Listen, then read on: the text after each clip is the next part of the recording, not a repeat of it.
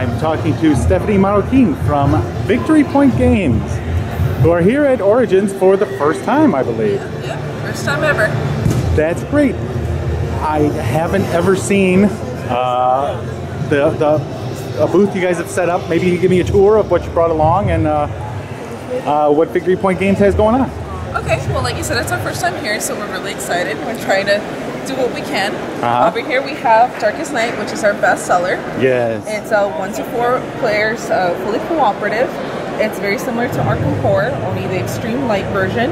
You pick four out of your nine heroes, each with unique powers, and you join forces to try to take down the Necromancer who's leaving blights and plagues all over your kingdom.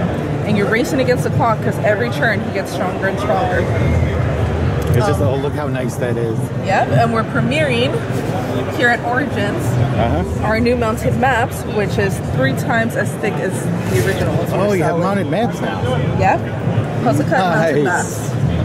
And three times the thickness. Then over here, we have our adorable little mini dice towers. look at those. Super cute. and we have Tenka, which is our three to four player card game. It takes place in feudal Japan. And it's a screw your neighbor card game.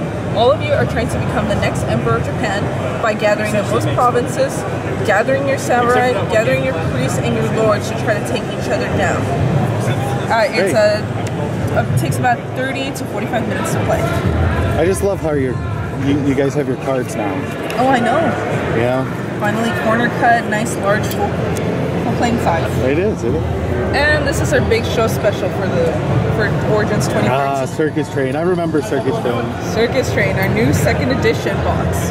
Look at Uh, that. This includes the original game plus the expansion pack, all with upgraded components. So you have a thick mounted map, uh, two sheets of counters, full-size cards, and for this convention exclusive, we have a special acrylic piece, a 10 acrylic piece that's I see that. It's even marked. sorry, sorry, Origins. Pre-release convention exclusive.